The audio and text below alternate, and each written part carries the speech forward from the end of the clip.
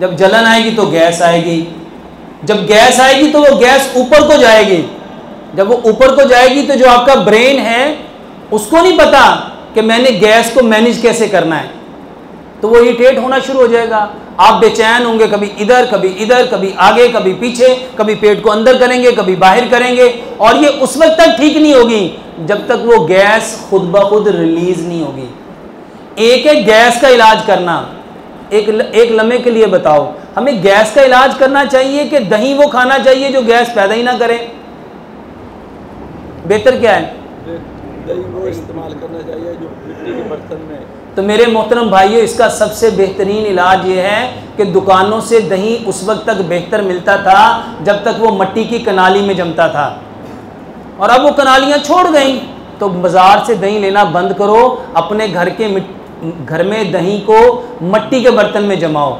और क्यों जमाना है? इसको कुरान से समझो।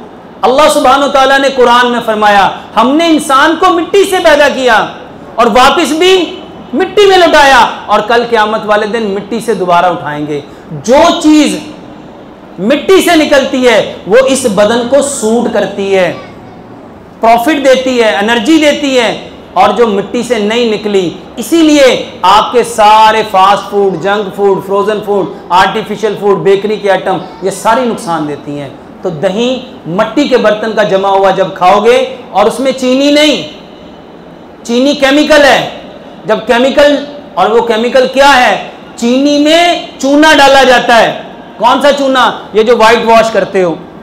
जब ये व्हाइट वॉश ये चूना उसके अंदर जाएगा, वो दही में डालोगे वो आपके अंदर। अगर चूना हाथ पे लग जाए तो हाथ की हालत क्या होगी? ये फट जाएगी, ये स्किन फाड़ देगा। सोचो, जब वो दही मैदे में जाएगा, जिसमें चीनी है तो बताओ वो मैदे को क्या करेगा? वो फाड़ देगा। जब वो फटेगी, उसमें जलन पैदा होगी। जब जलन पैदा होगी, आप कहोगे, मुझे मैदे की गर्मी है। अब तुम मैदे की गर्मी का इलाज करोगे। मैं कहता हूँ, इलाज दवाई है ही नहीं। चीनी छोड़ो ना यार। अल्लाह ने मिट्टी से गुड़ पैदा किया है। मीठा क्या है? गुड़। तो गुड़ खाओ। गुड़ मैदे की सत्तर बीमारियों की शिफा है।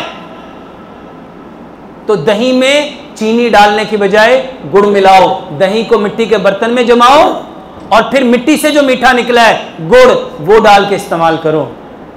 इनशाला ये जलन, ये गैस, ये तजाबियत, खुद ब खुद ठीक हो जाएगी।